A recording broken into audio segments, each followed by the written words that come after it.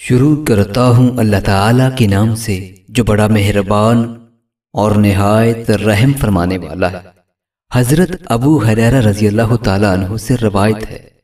वो बयान करते हैं कि रसूलुल्लाह वसल्लम गले की एक ढेरी के पास से गुजरे तो आपने अपना हाथ उसमें दाखिल किया। आपकी उंगलियों ने नमी महसूस की तो आपने फरमाया, गले के मालिक ये क्या है?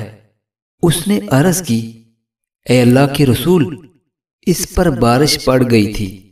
आपने फरमाया तो तुमने इस भीगे हुए गले को ऊपर क्यों ना रखा, ताकि लोग इसे देख लेते?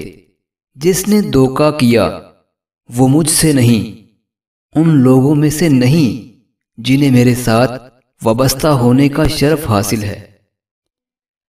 हज़रत जाबर बिन अब्दुल्ला रज़ी अल्लाह तुमा से रवायत है कि रसूलुल्लाह सल्लल्लाहु अलैहि वसल्लम ने फरमाया, जुल्म से बचो, क्योंकि जुल्म कयामत के दिन दिलों पर छा जाने वाली जुल्मतें होंगी।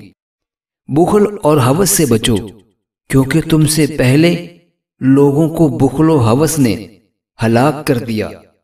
उसी ने उनको उकसाया तो उन्होंने अपने एक दूसरे के खून बहाए और अपनी हरमत वाली चीज़ों को हलाल कर लिया। हज़रत सुबान रज़ी अल्लाह तु से रवायत है। वो बयान करते हैं कि नबी करीम सल्लल्लाहु वसल्लम ने इरशाद फरमाया, जिस शख्स ने किसी मरीज़ की अयादत की, वो मुसलसल जन्नत की रवश में रहा। आपसे पूछा गया, या रसूल अल्लाह जन्नत की रवश क्या चीज़ है?